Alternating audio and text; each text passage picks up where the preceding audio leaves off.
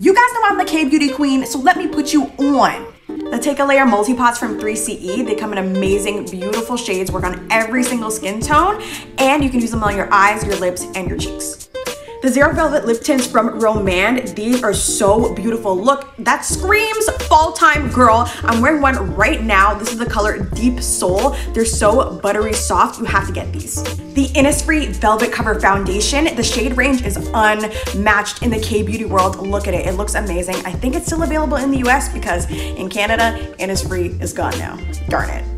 The 3CE Velvet Lip Tint, these are my favorite lip tints. They're similar to the Romand ones, but these ones are a little bit softer. So if you want a little bit of a softer look, it's for you, darling. All right.